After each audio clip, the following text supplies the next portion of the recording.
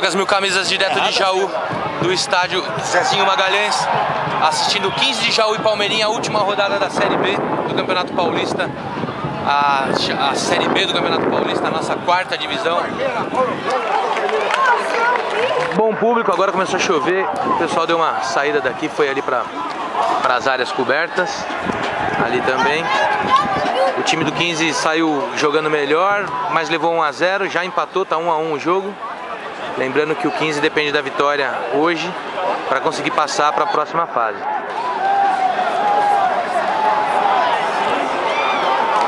Apoie o time da sua cidade.